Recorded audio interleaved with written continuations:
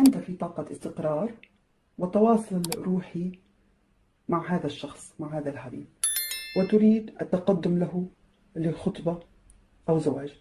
فأنت إنسان مستقيم نواياك صادقة ولا تحب اللف والدوران وتقول كلمة الحق دائما. أنت ترى الحبيب ربما تراه قد تزوج أو دخل في علاقة ارتباط أو ربما تراه مثلا أعلى منك شأنا. وله قوة وله قوة وقيمة كبيرة في الحياة. أو أنك تجده هو الشخص المناسب للزواج. هذه ثلاث احتمالات.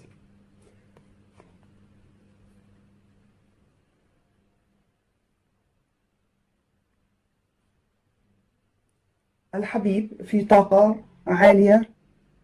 تجاهك ربما يكون يحبك كثيرا ولكنه هنا هذا إنسان هذا الإمبراطور لا يظهر مشاعره بشكل عام هو يحبك يحبك.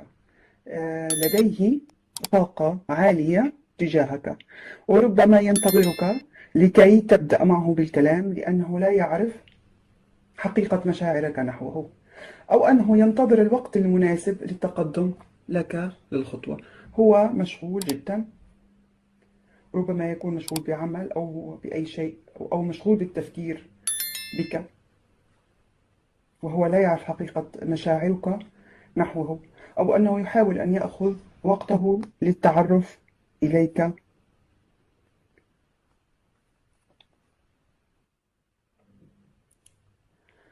أجل أنه ربما يكون هذا الشخص كما قلت متزوج.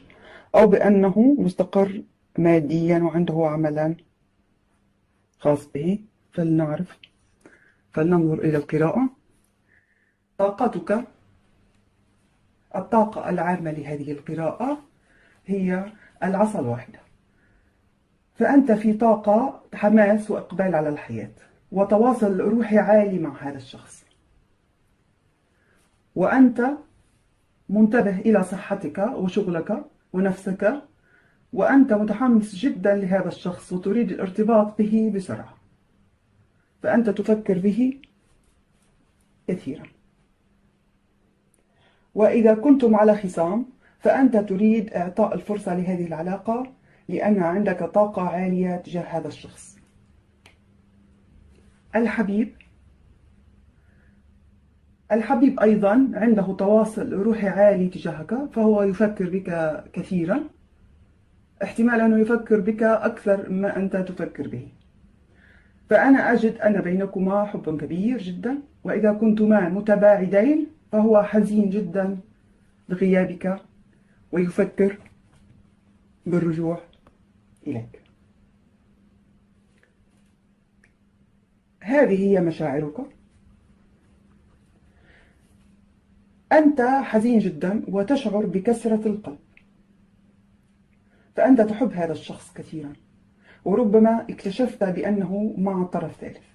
وهذا جرحك كثيرا. أو أنك اكتشفت عنه اكتشفت عنه حقيقة ما خاب أملك بسماعه. مشاعر الحبيب هو أيضا يفكر بك ويحبك. ويشعر ويشعر بأنك قد تركت هذه العلاقة وتباعدت عنه ولم تعد تريده. وعنده ألم نفسي وربما جسدي جراء ما حدث وهو يشعر بالحزن والوحدة لغيابك. وهو يفتقدك كثيرا. فأنا أشعر بهذه القراءة بالحب الكبير من كلاكما لبعضكما البعض.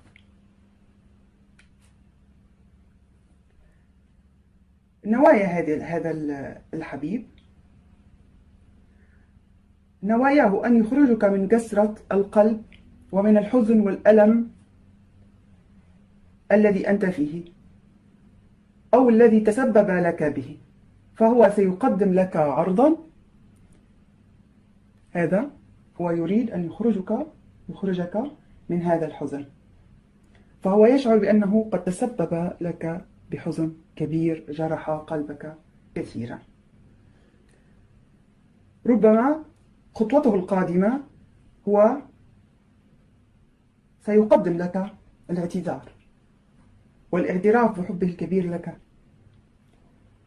وربما سيقدم لك هدية أو عرضا جديدا ينسيك ما حصل في السابق.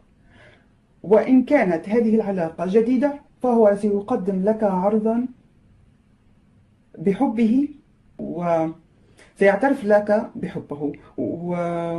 وإذا كنت مت... آه، آه، حزنك وإذا كان حزنك هذا جراء علاقة سابقة مرقت مرت معك في السابق فهو سيحاول أن يخرجك أو يخلصك من هذا الحزن ويعوضك عن كل آلام الماضي مصير هذه العلاقة؟ هذه العلاقة ستحظى باستقرار كبير استقرار مادي ومعنوي. فهذا الشخص كريم جدا ومعطاء ويحبك كثيرا. وسيقدم لك حبا بقدر حب حبك له فهو يحب العدل والتوازن. بالمناسبة هذا برج الميزان. آه لا تظهر. إن ظهر أي برج سأقوله لكم. الستة نقود قلنا بأنه يحاول هذه القراءة قلنا ستحظى باستقرار وهو شخص كريم ويحاول سيحاول أن يقدم لك الحب حبا بقدر ما أنت تحبه بالفعل. وإذا كنتم متخاصمين سيصالحك وسيقدم لك ربما هدية مالية وسيكون بينكما توازن بين الأخذ والعطاء. نصيحتك لهذه القراءة؟ هذا الشخص يحبك كثيرا ولكنه ربما يكون خائف من التقرب منك أو من ردة, ردة فعلك تجاهه.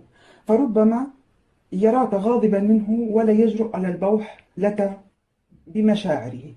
كل ما عليك فعله هو التواصل معه بالروح. وأرسل له طاقة إيجابية حتى يشعر بك هو. وأخرج من الحزن لكي تستطيع أن ترسل له هذه الطاقة. وإن كنت قد قطعت معه بالكلام أو تواصل وعملت له آه، بلوك افتح هذا التواصل واظهر له بأنه لأنك ما زلت تكون له مشاعر. أنت آه، لا أقول أن تقول له أنا ما زلت أحبك أو أن تصارحه بالفعل بحقيقة مشاعرك. أنا أقول فقط افتح له باب التواصل. وأظهر له بأنك في حالة جيدة ولم تعد تكون في قلبك تحمل في قلبك مشاعر سلبية له ولأي شيء في هذه العلاقة أو في علاقة أو من علاقاتك السابقة القديمة. شكرا لكم برج العقرب على هذه المشاهدة وأرجو أن أراكم في فيديو قادم إن شاء الله.